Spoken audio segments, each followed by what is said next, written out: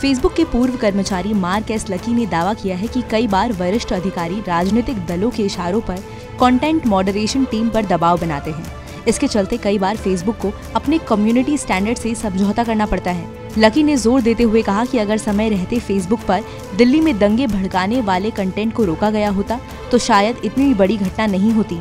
उन्होंने इस दौरान दिल्ली दंगों के साथ ही म्यांमार जनसंहार और श्रीलंका के दंगों का भी ज़िक्र किया। उन्होंने कहा कि फेसबुक ने सही समय पर अपने कंटेंट पर एक्शन नहीं लिया, जिसका परिणाम रहा कि इन सभी जगहों पर दंगे भड़के। मार्क ने अपना ये बयान दिल्ली विधानसभा की शांति व सद्भाव समिति के अधिकारियों के सामने दर्ज कराया। बता दें, समिति ने गुरुवार को फेसबुक के खिलाफ नफरत फैलाने वाले कंटेंट को जानबूझकर नजरअंदाज करने से संबंधित शिकायतों की सुनवाई करते हुए एक बैठक बुलाई थी। आपको कैसा लगा ये वीडियो हमें कमेंट सेक्शन में लिखकर ज़रूर बताएँ। देश और दुनिया की तमाम बड़ी खबरों के लिए सब्सक्राइब करना ना भूलें। टीवी नाइन भारतवर्ष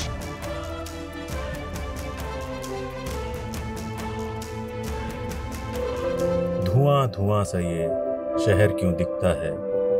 सुना है बाज़ार में धुएँ का सामान बिकता है। ये दिवाली सिर्फ़ दिए वाली।